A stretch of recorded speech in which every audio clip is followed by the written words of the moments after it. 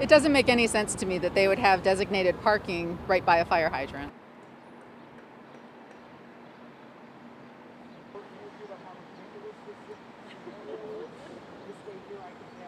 And there happened to be a policeman across the street, and I asked him about it, and he just kept saying, You're parked by a hydrant.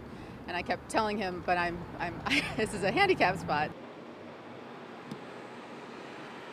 You don't know how far back you're able to go without getting a ticket. And I've seen them give tickets out here before, like this car pulling up right now. They told me that if I was legally within a spot that I could get the ticket dismissed.